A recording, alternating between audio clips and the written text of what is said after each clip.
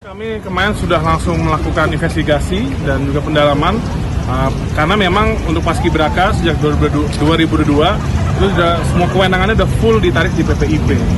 dan kemarin juga ternyata BPIP juga sudah melakukan preskon walaupun jawabannya tidak tidak tegas dan langsung merevisi. Jadi saya sangat menyayangkan ini ini harus ke depan harus kita jaga bersama jangan sampai dengan alasan agar ada keseragaman tapi menabrak nilai-nilai keteguhan yang sudah dimiliki para individu. Jadi saya akan berusaha ke depan, walaupun paskibraka ini sudah bukan kewenangan kami, tapi karena paskibraka itu isinya para anak muda, generasi muda yang otomatis tanggung jawab kami, uh, kami jamin ke depan kita akan melakukan langkah-langkah yang bagaimana bisa menjaga uh, pembinaan dan juga pengelolaan paskibraka ke depan. Ada arahan nggak sih Pak dari Pak Jokowi terkait dengan ini masalah, masalah ini? Uh, tentunya belum karena